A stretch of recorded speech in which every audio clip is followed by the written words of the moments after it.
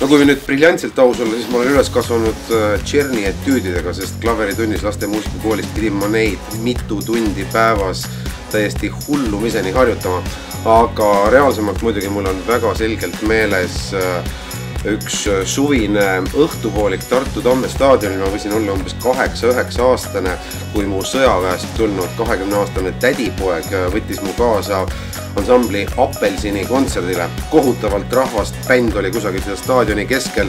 tädipoeg loomulikult piilus eelkõige Tartu tüdrukuid, kes olid kontserdile tulnud, aga minule jättis ansambel Apelsin äh, täiesti kustumatu mulje. See oli veel koosseis, kus olid äh, noh, Tõnu Aare loomulikult, Ivo Linna, Mati Nuude, kogu see nende show äh, tuukrulaul ei ole kellelgi niisugune tülikonda ja Himalaja ja kogu see muu värk. ma mäletan, et ma olin kaks tundi täiesti ähm, täiesti sillas, ma ei saanud silmi nendelt kostüümidelt, nendelt esinejatelt, kes seal äh, staadionil ringi hüppasid ja laulsid ja segasin kogu aeg oma vanemat tädipoega tüdrukute piilumisel.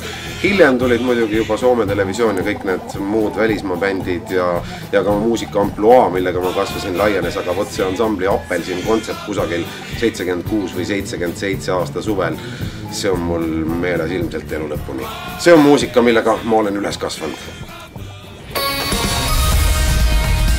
muusika, millega oled üles kasvanud. millega oled üles kasvanud